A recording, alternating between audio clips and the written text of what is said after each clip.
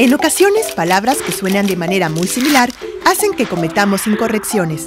Es el caso de infringir e infligir, dos verbos con significados muy distintos que han dado lugar a una mezcla de ambos, infringir.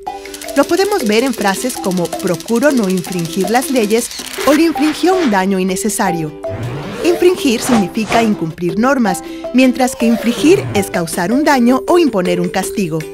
De esta forma, en los ejemplos anteriores lo adecuado hubiera sido decir, procuro no infringir las leyes y le infringió un daño innecesario.